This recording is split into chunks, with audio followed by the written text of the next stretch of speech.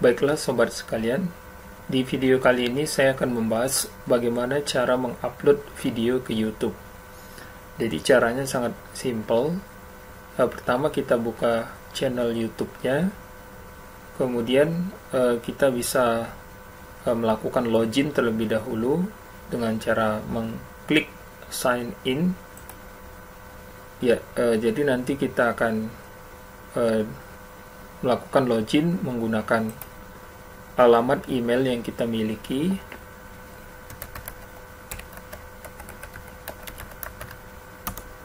Oke seperti ini.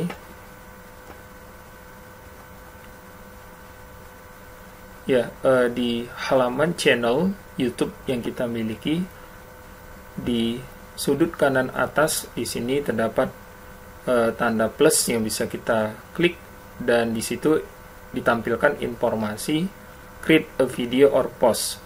Jadi silakan kita klik dan di sini terdapat dua pilihan apakah kita ingin mengupload video atau ingin go live. Oke, jadi karena videonya sudah uh, saya buat di pertemuan sebelumnya, ya video yang uh, tangkapan layar atau record screen materi uh, kuliahnya. Ya, jadi di sini kita pilih upload video. Oke, jadi di sini tinggal kita klik select file. Kita pilih uh, dosen YouTuber ya. Dosen YouTuber 1 uh, video tentang uh, bagaimana cara merecord uh, screen yang berisikan uh, materi perkuliahan ya. Oke, jadi proses uh, uploadnya sedang dikerjakan ya di bawah ini ditampilkan progresnya, e, persentase, kemudian juga e, sisa waktu yang dibutuhkan untuk melakukan proses upload ini. Nah, e, sementara menunggu progres dari uploadnya, kita bisa e, mengisi beberapa detail dari video yang sedang kita upload. Jadi, e, pertama untuk judulnya kita isi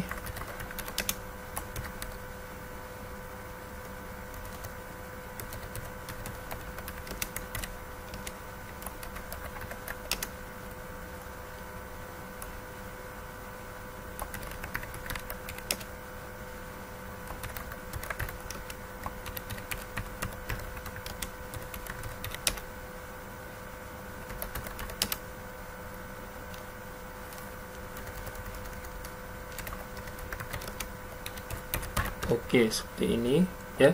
Jadi di sini ada batasan e, karakter. Kemudian deskripsi sebaiknya diisi ya. Jadi menjelaskan tentang konten dari video yang kita upload. Video ini berisi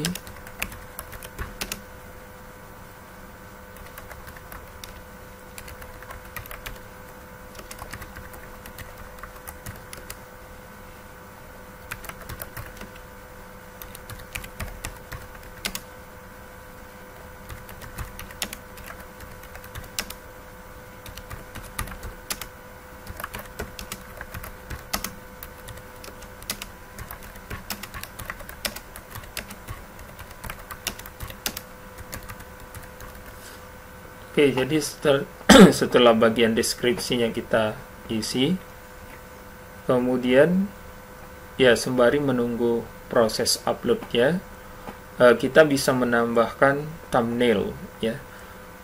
Ya, uh, thumbnail ini sangat penting ya fungsinya untuk menarik uh, user uh, supaya tertarik untuk melihat video yang kita upload. Ya, uh, thumbnail ini bisa berupa uh, clickbait ya. Ya, jadi sebenarnya clickbait itu kalau menurut saya diperbolehkan ya asalkan memang uh, sesuai dengan konten video yang kita upload ya. Yang tidak diperbolehkan adalah yang kalau tidak sesuai ya. Misalnya antara uh, thumbnail ya dan konten videonya itu uh, berbeda jauh. Nah, itu uh, berarti ada unsur kebohongan. Ya tetapi kalau memang sesuai ya memang itu tujuan utamanya ya. Karena thumbnail ini ya harus dibuat semenarik mungkin ya supaya bisa menarik apa user untuk uh, melihat videonya. Jadi untuk uh, thumbnail ya uh, ini bisa kita buat terlebih dahulu ya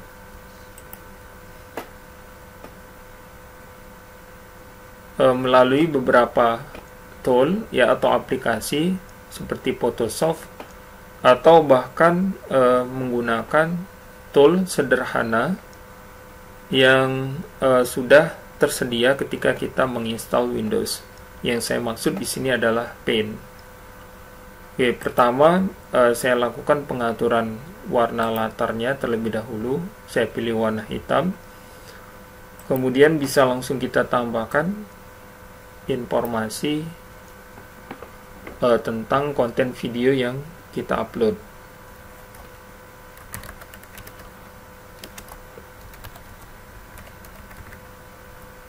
Oke, jadi seperti ini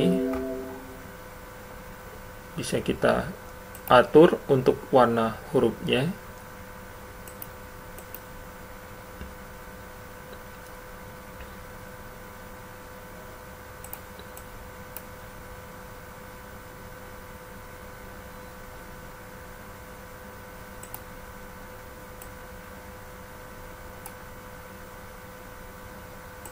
Ya, uh, kemudian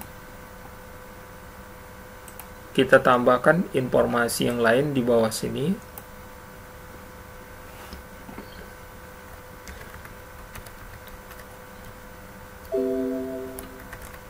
record screen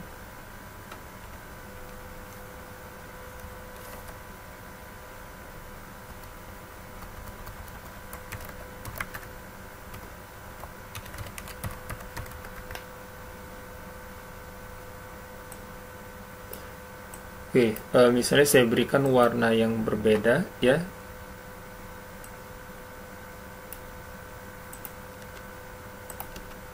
Oke, seperti ini.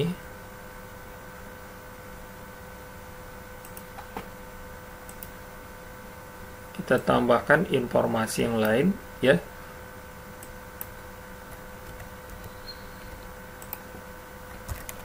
Untuk materi kuliah di channel YouTube ya. Oke.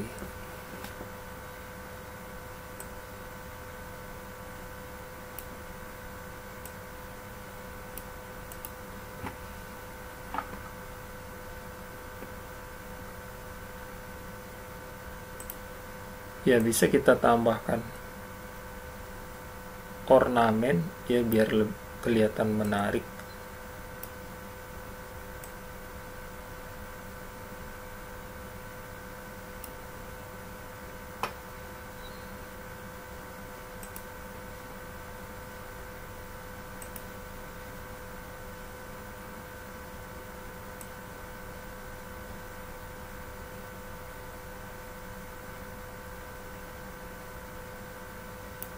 oke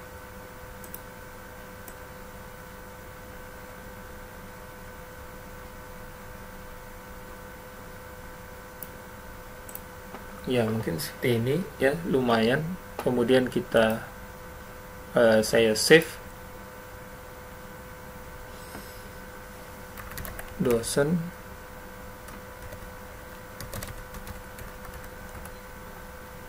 tipenya PNG kemudian kita kembali ke halaman upload ya dan file untuk thumbnailnya sudah siap untuk kita upload ya. Jadi nama filenya dosen youtuber 2 open. Oke jadi sudah langsung ditampilkan. Untuk pengaturan selanjutnya playlist. Ya kalau tidak ingin kita tambahkan tidak apa-apa kemudian audiensnya Jadi di sini ada dua pilihan ya. Apakah video yang kita buat ini untuk kids ya, untuk anak-anak atau uh, bukan untuk kids ya. Jadi kita buat no, it's not made for kids. Oke, uh, jadi selanjutnya uh, pengaturan untuk umur atau age restrictions. Jadi di sini bisa kita lihat terdapat dua pilihan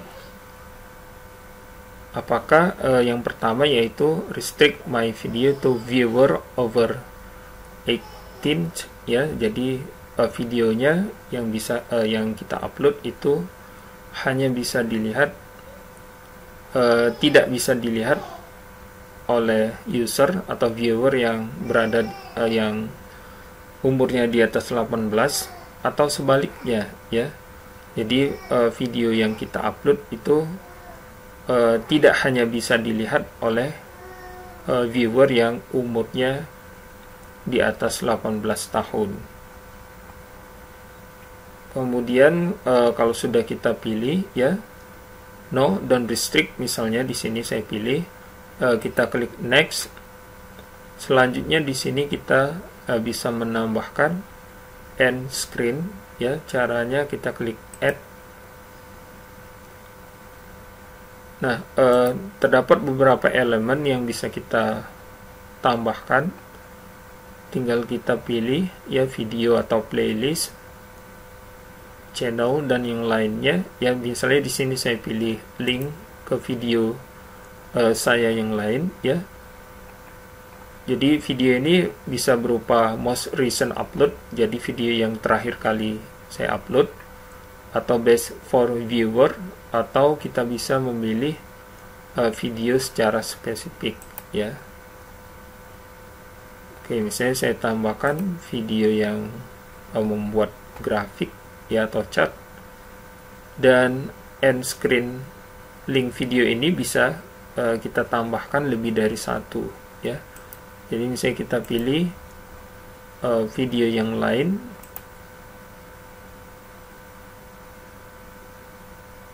Oke, misalnya membuat login user ya. Kemudian kapan uh, link video ini akan ditampilkan ya di end screen-nya itu juga bisa kita atur di sini. Jadi kalau misalnya kita merasa terlalu dini ya terlalu cepat ditampilkan link videonya kita bisa menggeser kursornya ya ke 5 detik terakhir.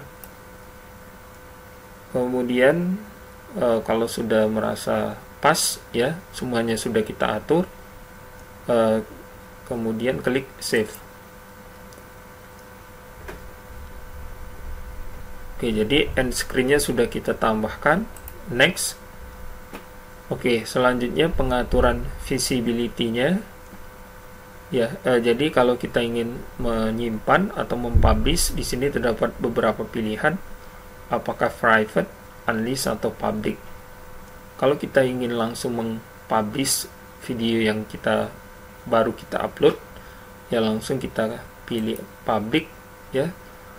E, kemudian bisa langsung kita publish.